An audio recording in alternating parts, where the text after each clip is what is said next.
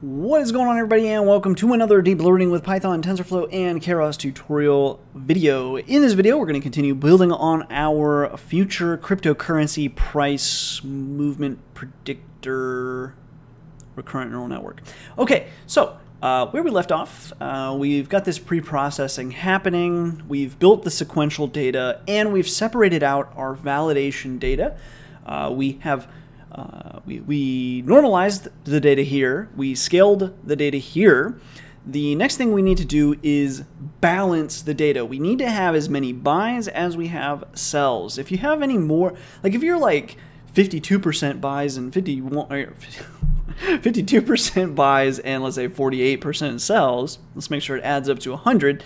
Um, if you're if you have data like that, it's probably okay. You probably don't need to worry about balancing it. But if you've got anything more than like a 60-40 split or even more egregious, uh, it's really important you balance your data set. And arguably, it's just always going to be better if you just balance it because the, the model is going to learn probably pretty quickly if there's like a 5 10% delta there that, oh, just always predict this one class, and immediately we make huge improvement.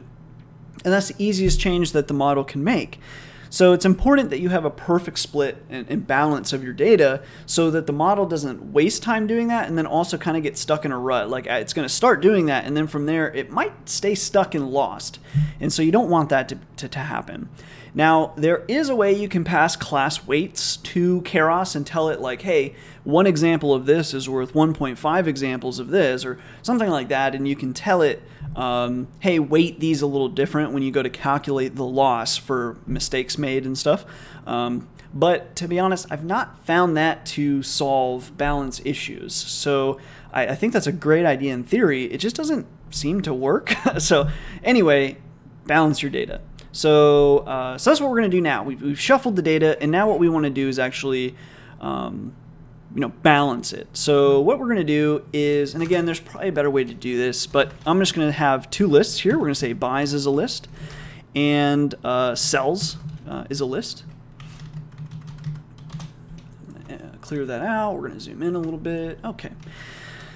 Then what we're going to say is for sequence target in sequential data, uh, if target is a zero, that's a sell. So then what we're going to say is sells dot append sequence target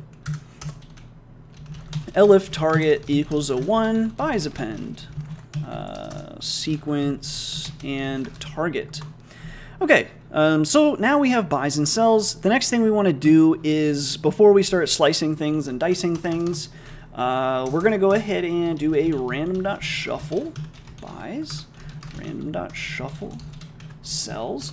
We probably don't really need to do that because we already shuffled here, but uh, shuffle for good measure. So, so uh, then what we're going to find out is which one is lesser. We don't actually need to know if it's buys or sells. We just need to know what's the minimum value of these two lists. So the way we can do that is lower equals the minimum of the len of buys or the len of sells. And that'll tell us, you know, like maybe buys is 30,000 and sells is 60,000. Well, lower would be 30,000.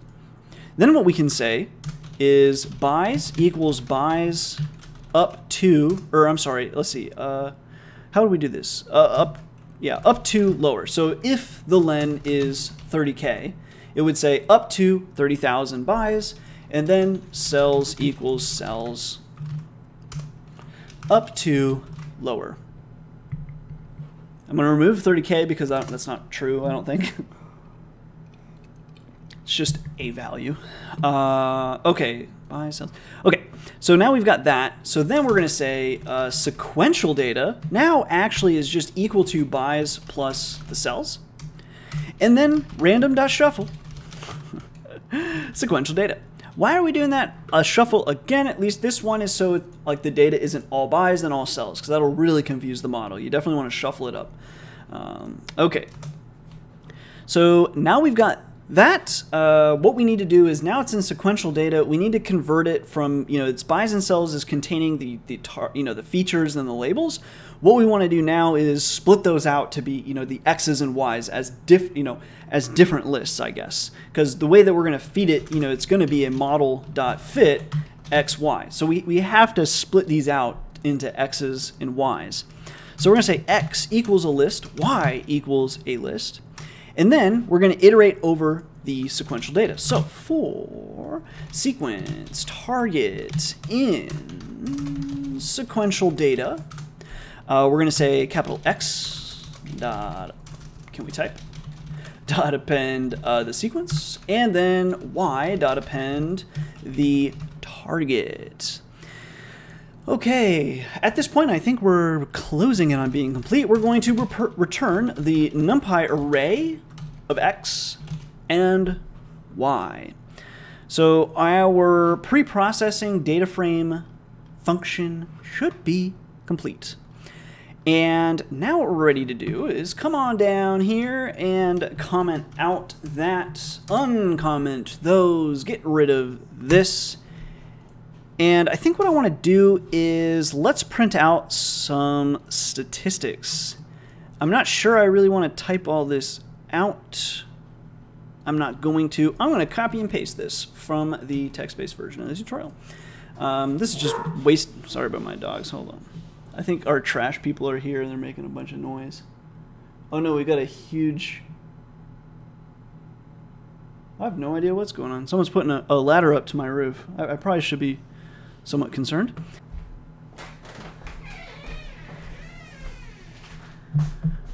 Okay, so so the uh, so what we can see is the training data uh, is sixty nine thousand, validation is three thousand there's a good balance between the buys uh, and the don't buys, and then we have a balance between the validation buys and don't buys. So everything is nicely balanced. We've got it split apart the way that we're expecting to. And in the next tutorial, I think we are ready to build the model and train the model. So that's what we're going to do in the next video. If you've got questions, comments, concerns, whatever, you know the deal. Feel free to leave them below. Otherwise, I will see you guys in the next video.